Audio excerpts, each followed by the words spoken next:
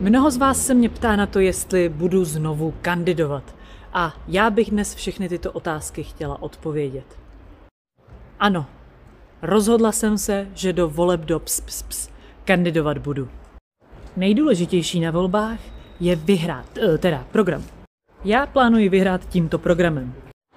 HDP je přežitek minulosti. Hodnotu společnosti bude nově určovat PPK, počet pohlazených koček za den. Již žádné hádky o naftu, benzín nebo obnovitelné zdroje energie.